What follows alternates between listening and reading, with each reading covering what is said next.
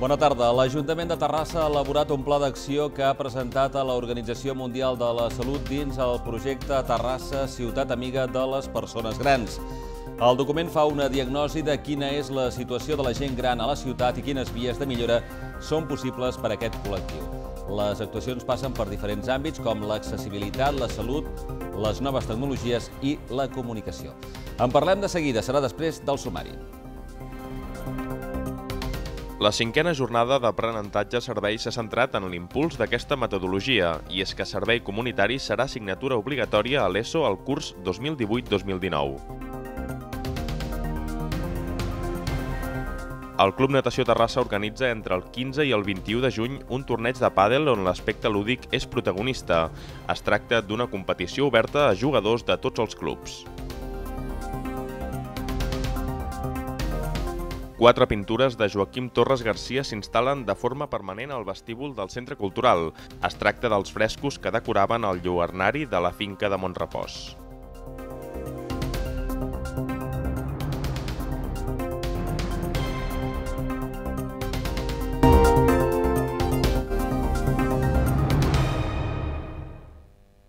Us parlem del pla d'acció que l'Ajuntament ha dut a l'OMS, a l'Organització Mundial de la Salut. Es tracta d'un document que fa una diagnosi de quina és la situació de la gent gran a la nostra ciutat i quines són les vies de millora possibles per a aquest col·lectiu. L'Ajuntament ha elaborat un pla d'acció que ha presentat a l'Organització Mundial de la Salut dins el projecte Terrassa Ciutat Amiga de les Persones Grans. El document fa una diagnosi de quina és la situació de la gent gran a la ciutat i quines vies de millora són possibles per a aquest col·lectiu. Les actuacions passen per diferents àmbits, com l'accessibilitat, la salut, les noves tecnologies i la comunicació. Aquesta transversalitat del projecte és el que ha destacat la regidora de gent gran en funcions, Josefina Soler. Tu no pots mirar un, un, bueno, un envelliment actiu o millor accessibilitat si tu no tens una mirada des dels diferents serveis, des de mobilitat, des de salut, des de la gent gran, des d'urbanisme, eh, perquè és una implicació de tots, eh, de, com deies, de, de totes les àrees de l'Ajuntament, des de serveis socials... Per exemple, un dels àmbits de millora que s'han inclòs és la relació de la gent gran amb els bancs. Informació, transparència i claredat, aquí són els objectius.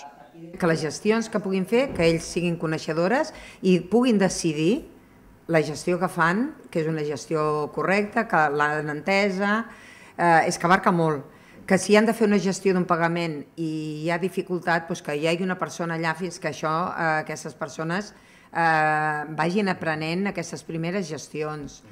Que totes les operacions que facin, com molt bé has dit, doncs ells siguin entenedores i ells puguin decidir-les finalment. Ciutats Amigues de les Persones Grans és un projecte impulsat per l'OMS per promocionar polítiques d'envelliment actiu. L'Ajuntament ha presentat a l'organització el document que recull les mesures a dur a terme i que ha de ser validat en breu. Després hi haurà un període de 3 anys per desenvolupar totes aquestes accions.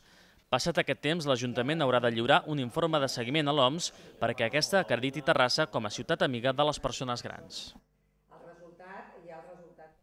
A partir del curs 2018-2019, Servei Comunitari serà una assignatura obligatòria a l'ESO, a l'ensenyament secundari obligatori. Per aquest motiu, una jornada que s'ha fet a Terrassa s'ha centrat específicament en l'impuls d'aquesta metodologia. Al desembre es va crear ja una taula local i ara es convida als centres i entitats a adherir-se com a agents motors. Acompanyar les persones grans en el procés d'envelliment o fer de guies dels museus de Terrassa són dues de les 19 ofertes d'aprenentatge servei APS que surten a la guia d'activitats que edita el Servei d'Educació de l'Ajuntament. Totes aquestes accions són de compromís cívic, fan que els nois i noies entrin en contacte amb el món real i al mateix temps aprenen. El curs 2018-2019, una assignatura que comparteix tots aquests principis, servei comunitari, serà obligatòria a l'ESO, estarà vinculada al currículum i s'avaluarà. Per aquest motiu, la cinquena jornada d'aprenentatge servei s'ha centrat específicament en l'impuls d'aquesta metodologia, difondre les propostes de col·laboració entre centres educatius i entitats locals i explicar exemples pràctics que ja s'estan desenvolupant. La regidora en funcions d'educació, Helena Dinarès, ha explicat a la cinquantena de persones que han assistit a la jornada que al desembre es va crear una taula permanent d'aprenentatge servei i els ha convidat a adherir-se com a agents agents motors. Des del mes de desembre doncs, eh, hem posat en marxa el que seria la taula local d'impuls a l'APS, on de moment doncs, estem les dues institucions eh, amb la voluntat de que ara doncs, es vagin incorporant doncs, representants de centres i d'entitats, de, perquè ja sabeu doncs, que, que s'ha d'anar tenint en compte de manera progressiva doncs, aquesta nova competència de, del, servei, del servei comunitari eh, a l'ESO. Actualment aquesta taula està formada per l'Ajuntament, la Generalitat Generalitat, el Centre Promotor d'APS i la Coordinadora de Voluntariat d'Entitats Terrassenques. I encara en qüestions relacionades amb l'àmbit educatiu, més d'un centenar d'alumnes del Cavall Bernat s'han graduat en hostaleria. Aquest dimecres s'han lliurat els reconeixements corresponents als cursos de cuina i gastronomia al grau en restauració. L'han rebut un grup d'alumnes que ha complert el curs d'agències de viatge i gestió d'esdeveniments i un altre que han culminat el d'assistència i informació turística. Més d'un centenar d'alumnes de l'Institut Cavall Bernat celebren la seva graduació en algun curs d'hostaleria en un acte al restaurant Escola Torre Mossèn Oms. Aquest dimecres s'han atorgat els diplomes corresponents als cursos de cuina i gastronomia, el grau en restauració, un grup d'alumnes que ha complert el d'agències de viatges i gestió d'esdeveniments i un altre que han culminat el d'assistència i informació turística. A l'acte hi ha participat l'Ajuntament, el Departament d'Ensenyament i el Gremi d'Hostaleria. Tots han destacat la implicació real d'instituts i empreses en la formació dual que converteix Terrassa en un referent en els estudis de restauració. Nosaltres ens agradaria poder ofertar el grau superior també de restauració, de servei en restauració. D'aquesta manera tancaríem una mica el cicle d'hostaleria que tenim. I clar, la nostra ambició seria que a Terrassa eh, doncs es pogués arribar a construir a, una escola d'hostaleria, no? perquè creiem que és important, que té molta demanda i que seria molt important per a, per l'estat de Terrassa. I crec que Terrassa, si pogués eh, oferir tota la rama, tota, tot, tot, tota la família d'hostaleria, doncs seria molt positiu per a la ciutat. El pròxim curs l'Institut Cavall Bernat espera graduar la primera promoció del grau en direcció de cuina. A la cluenda del curs 2014-2015 també s'ha entregat el reconeixement al millor expedient, evolució o trajectòria. Uns 400 alumnes estudien algun dels graus d'hostaleria al Cavall Bernat, el 40% dels quals troben feina en acabar el curs, tot i que molts continuen amb estudis d'especialització. Alumnes de secundària estan utilitzant l'aplicació Terrassa Augmentada per fer un treball de síntesi. L'aplicació per a dispositius mòbils ha estat el fil conductor del treball de síntesi Coneguem Terrassa, que han fet aquest dijous prop d'un centenar d'alumnes de tercer d'ESO de l'Institut Torre del Palau. L'aplicació per a dispositius mòbils Terrassa Augmentada ha estat el fil conductor del treball de síntesi Coneguem Terrassa, que han fet aquest dijous prop d'un centenar d'alumnes de tercer d'ESO de l'Institut Torre del Palau. Es tracta d'una eina de realitat augmentada que permet gaudir d'un itinerari autoguiat pels edificis més emblemàtics de la terrassa industrial i modernista. L'activitat ha començat al Museu de la Ciència i la Tècnica de Catalunya, impulsor d'aquesta app junt amb el Servei de Turisme de l'Ajuntament. És la segona vegada que els responsables del centre educatiu trien l'aplicació perquè els estudiants descobreixin més sobre el passat i el present de Terrassa des de perspectives tan diverses com l'art, l'arquitectura, la tecnologia i la societat. Me parece curiosa, la verdad, porque es una actividad que todos vivimos en Tarrasa, creo yo, y nunca he visto esta actividad ni los puntos de interés por el suelo y me gusta bastante porque acerca a la juventud a tiempos pasados de esta ciudad. Está muy bien porque nos ayuda a conocer más cosas de Tarrasa y además al ser con el móvil, pues no se fomenta que aprendamos cosas nuevas.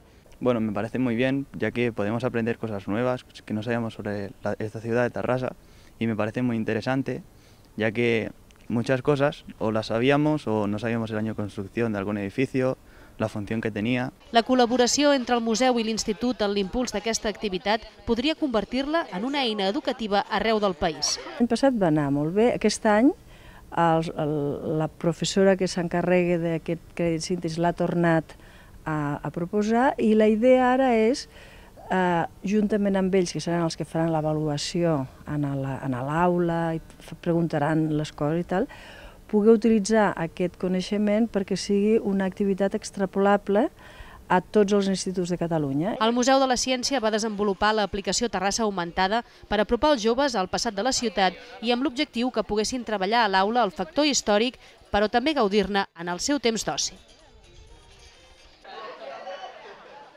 L'Arxiu Històric de Terrassa ha acollit aquest dimecres a la tarda un acte per celebrar el Dia Internacional dels Arxius i que coincidia amb la data de creació del Consell Internacional d'Arxius a l'any 1948. L'activitat ha estat organitzada de forma conjunta per l'ONG Arxiver Sense Fronteres i el Servei de Cooperació i Solidaritat de l'Ajuntament. Núria Carreras ha presentat l'acte, mentre que l'arxiver Jordi Amigó ha pronunciat la conferència titulada Arxius i Drets Humans, els arxius del poble saharaui. Arxiver Sense Fronteres és una organització sense ànim de lucre que va néixer el 1998 està dedicada al desenvolupament de projectes de cooperació i solidaritat de l'àmbit de l'arxivística i patrimoni documental.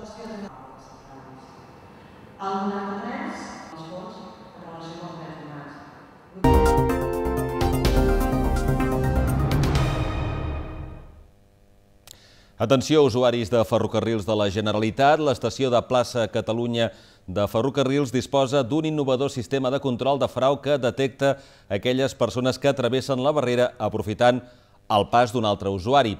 Aquest s'ha aprovat amb èxit durant un any a l'estació de Provença i es preveu anar-lo implementant a la resta de la xarxa durant els propers quatre anys. Ferrocarrils de la Generalitat ha instal·lat un nou sistema de control de frau pioner al món basat en la intel·ligència artificial que detecta les persones que travessen la barrera aprofitant el pas d'un altre usuari. El sistema anomenat Detector l'ha desenvolupat una empresa barcelonina i ja fa un any que estava en prova a l'estació de Provença, on el frau s'ha reduït un 70%. Aquest sistema el vam començar a provar amb una prova pilot que ha durat pràcticament un any a l'estació de Provença al principi, com tot sistema d'intel·ligència artificial, doncs es va haver d'anar eh, treballant fins al punt que en aquests moments eh, hem vist que el marge d'error és tendent absolutament ja al zero eh, i que per tant el control és del 100%. També és cert que a vegades això no ho percep la gent, perquè eh, entre el moment que es detecta el frau i el moment que intervé doncs, un revisor eh, nostre passen de vegades mig minut, que és el temps doncs, que aquella persona arriba a l'alçada del control. No? Nosaltres en quatre anys tindrem instal·lat a tota la nostra xarxa ja aquest sistema detector que ens ha de permetre doncs, reduir el frau a la mínima expressió. El dispositiu que ja està funcionant a l'estació de plaça de Catalunya s'estendrà progressivament per tota la xarxa de ferrocarrils. El detector consisteix en una càmera instal·lada al sostre que observa la zona de validació i que emet un avís quan detecta un possible infractor. Molts pocs segons després, un avís arriba als terminals mòbils en forma de seqüència d'imatges. Un interventor equipat amb un terminal mòbil rep l'alerta i decideix si cal procedir a interceptar l'infractor. Amb aquest projecte de control de frau s'aposta per una gestió ferroviària intel·ligent aplicant la tecnologia i la innovació per millorar l'eficiència. Ferrocarrils de la Generalitat es posa al davant de tot, eh, a l'avantguarda, en la innovació tecnològica per garantir eh, que, eh, en definitiva, el servei de transport públic que oferim doncs, eh, excel·leix i té totes les garanties de compromís cívic que ha de tenir. Ferrocarrils aplica des de l'any 2011 el mètode de validació de bitllet tant a l'entrada com a la sortida de les estacions. Amb aquest control s'ha aconseguit reduir el frau en una xifra que l'any passat se situava en el 0,017%. Tot i això, el conseller Santivila matisava que la xifra total de frau als diferents transports públics és de 20 milions d'euros. La patronal Secot ha organitzat aquest dimecres a la tarda una sessió per donar a conèixer en què consisteix la innovació a la indústria avui en dia i veure exemples de bones pràctiques. El president de Secot, Antoni Abad, i el president del Cercle d'Economia, Anton Costes, han donat inici a la sessió que ha seguit amb la ponència de Xavier Marcet, president de Litu Change. Posteriorment s'ha fet una taula rodona sota el títol de Bones pràctiques en indústria innovadora, en ella han participat Manel Balcells, comissionat de Salut del Centre Tecnològic Laitat, Josep Congost, director del Disseny i Innovació de Roca, i Ramon Comelles, president de Circutor. L'activitat s'ha dut a terme a l'aula magna de la patronal.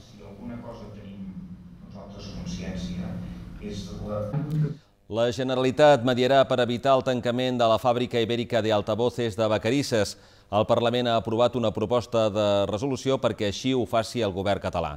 La proposta arriba després de l'acord assolit entre els propietaris de la companyia i el comitè d'empresa i que ha impedit el seu tancament. El que no ha pogut evitar, però, és l'acomiadament pactat del 80% dels treballadors. Amb aquesta esmena en boix. Vale? El Parlament de Catalunya ha aprovat una proposta de resolució que reclama al govern de la Generalitat que mantingui la mediació per evitar en un futur el tancament total de l'empresa Fàbrica Ibèrica d'Altavoces, ubicada a Vacarisses. La moció, que ha estat aprovada per unanimitat en la Comissió d'Empresa i Ocupació, insta l'administració catalana a continuar vetllant per garantir la continuïtat de la companyia del grup italià Faital. La proposta arriba després de l'acord assolit entre els propietaris de la companyia i els representants del comitè d'empresa i que ha impedit el seu tancament. El que no ha pogut evitar, però, és l'acomiadament pactat del 80% dels treballadors. La fàbrica es manté, es mantenen 28 persones, de les 107 em penso que hi havia en el seu moment. Eh, per tant, eh, la, els llums d'alarma per entendre'ns, no s'han apagat del tot. I per tant, entenem que abans de que d'aquí a dos, tres, quatre mesos ens tornem a trobar en una situació que pugui ser conflictiva i que definitivament pugui acabar aconseguint allò que volia inicialment fer l'empresa, entenem que valdria molt la pena que el govern estés amatent i fes aquest seguiment gràcies a l'acció positiva doncs, eh, de molts, però també del govern de Catalunya, mediant i mediant d'una forma positiva, doncs verdaderament eh, s'ha saldat, podríem dir, amb una situació millor de la prevista. Però si vostès la volen mantenir, eh, canviant el, eh, iniciar la mediació per seguir, quan de fet no cal seguir perquè ja està tancat, insistim, aquest conflicte en concret, no serem nosaltres qui voti eh, en contra. La fàbrica ibèrica d'Altavoces va presentar concurs de creditors per cessar l'activitat i acomiadar els 107 treballadors de la companyia, 66 dels quals són de Terrassa. Els membres del comitè sempre han defensat que l'empresa és viable i compta amb processos productius de qualitat que li han reportat nombrosos reconeixements. Per aquest motiu denuncien que al darrere hi ha una deslocalització al menor cost possible per la companyia.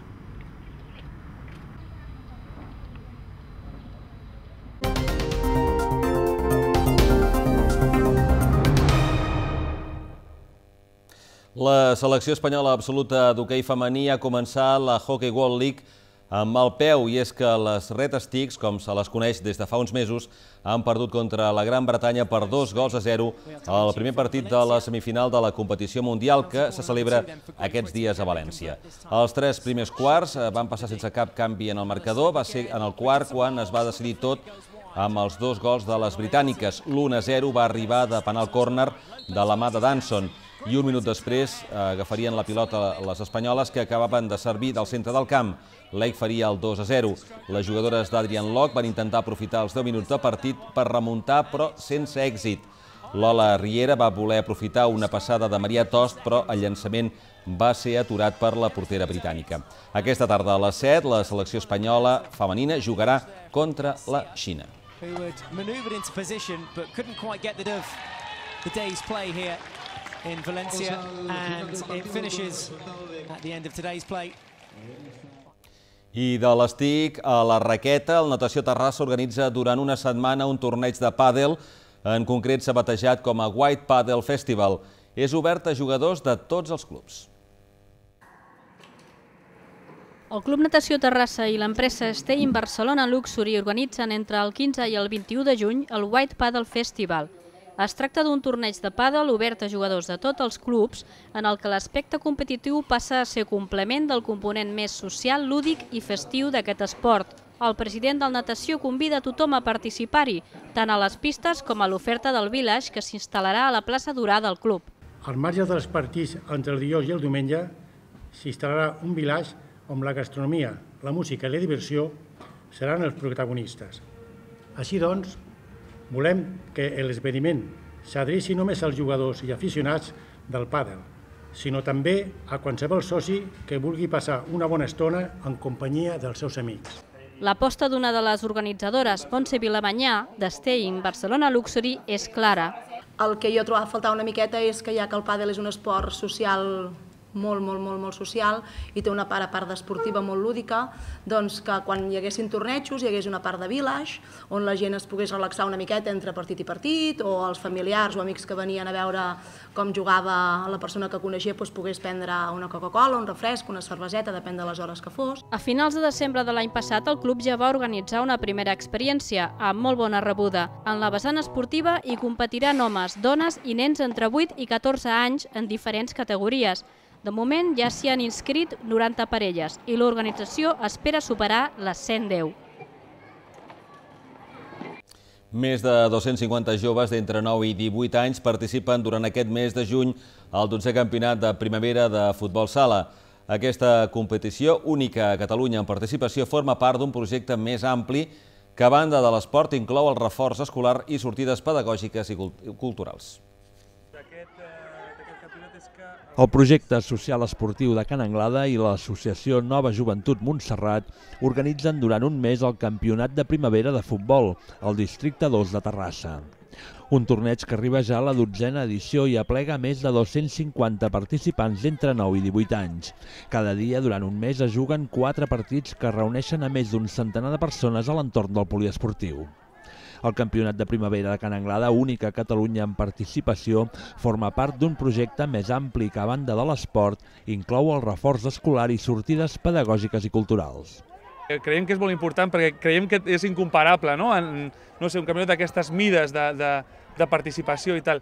Però clar, val a dir que això forma part d'un projecte social, que és l'Esportiu Can Anglada, i aquest projecte doncs té activitats, no? activitat de reforç escolar, activitat d'esport durant tot l'any, activitat d'horta comunitària, o sigui, que d'alguna manera doncs el, el, els xavals eh, doncs no només formen part de, o sigui, només s'organitzen això, sinó que s'impliquen també a les altres activitats. ¿no? Bueno, ahora acaban los Juegos Escolares y el objetivo es que los chavales cuando ya caen los entrenamientos ya tengan más cosas que hacer y este pues es una cosa perfecta para, para ellos. Se encargan ellos mismos de hacer sus, sus equipos y eso es perfecto. Porque los implica más en, dentro de, de la responsabilidad y de, su, y de sus funciones. En el campionat s'hi organitzen més de 30 equips, dividits en les categories de benjamins, alevins, infantils i cadets juvenils.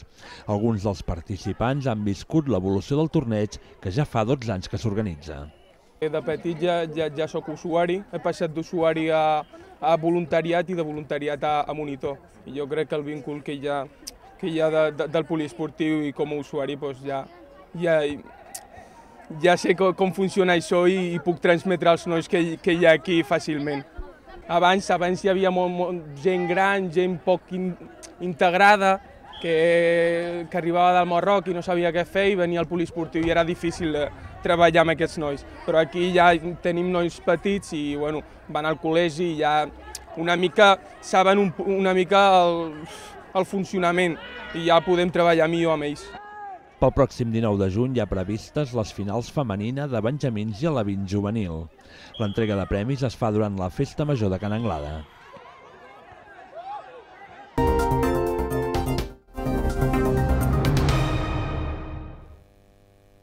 Els frescos de Torres Garcia a Montrepòs ja són al centre cultural. Es tracta de quatre frescos que el pintor catalano-uruguaià tenia a la seva residència durant la seva estada de 7 anys a Terrassa. Estan pintats amb òxid sobre lletada de calç fresca. Són els quatre frescos que el pintor catalano-uruguaià Joaquim Torres Garcia tenia a la seva residència de Montrepòs durant la seva estada de 7 anys a Terrassa. La Caixa de Terrassa els va comprar el 1993, abans que ho fessin des de l'estranger per un museu de Suïssa. Ara, després d'uns anys a l'edifici veí del BBVA, les pintures tornen al centre cultural per quedar-s'hi. Es tracta de quatre frescos de 3 metres d'amplada per 2 d'alçada que decoraven el lluernari de Montrepòs. Són la veritat i una nimfa, la música, la dansa i la saviesa, Apolo i dues nimfes i la terra, Enes i Pan. A cadascun un arbre, una olivera, un llorer, un taronger i una figuera. Com a complement de cada pintura, una frase en llatí sobre aspectes de la vida quotidiana. Els frescos estan pintats amb òxid sobre llatada de calç fresca, la tècnica clàssica del fresc des del Renaixement.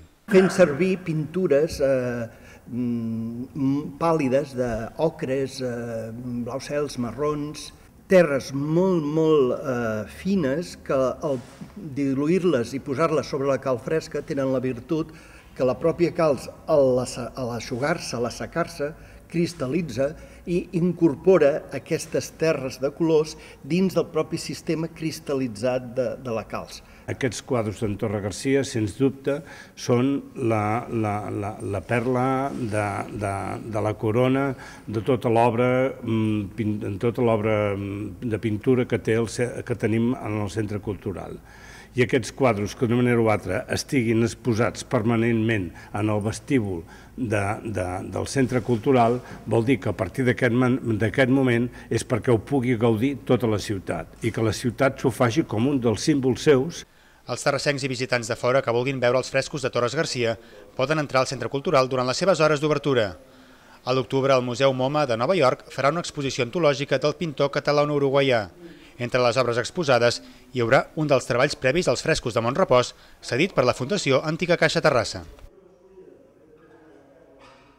Aquest dimecres a la tarda s'ha fet a la llibreria Bacus Terrassa la presentació de la novel·la El pic de l'hivern ens aturàrem a descansar sota un arbre.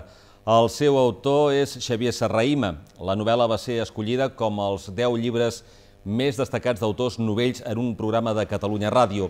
Mitjançant un diàleg intern, un escriptor a la ratlla dels 60 anys plasma l'evolució dels seus sentiments al llarg del darrer mes de l'any, quan un editor s'interessa per una de les seves novel·les després d'una dècada sense aconseguir que les seves obres surtin a la llum.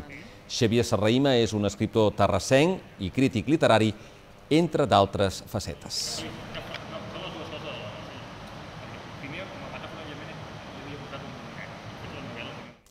Doncs bé, amb aquestes imatges de la presentació d'aquest llibre a Bacus Terrassa arriba ja el moment d'acomiadar l'informatiu. Gràcies per estar amb nosaltres. Poden seguir l'actualitat, com sempre, a través de Canal Terrassa, a la ràdio municipal i també per internet, a les xarxes socials i al portal terrassadigital.cat. Que tinguin molt bona tarda d'avui dijous.